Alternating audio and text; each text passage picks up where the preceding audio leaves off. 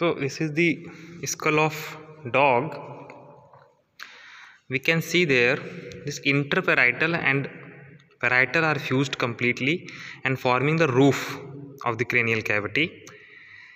And this zygomatic arch is highly curved. Orbital this eye orbit is incomplete. We can see in case of dog. And the shape of the skull varies from breed to breed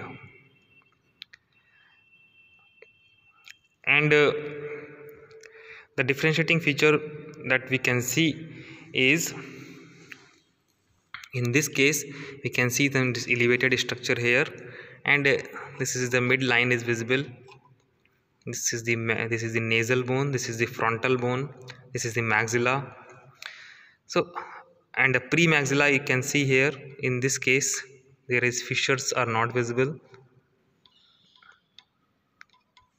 so these are the differentiating features in the dog skull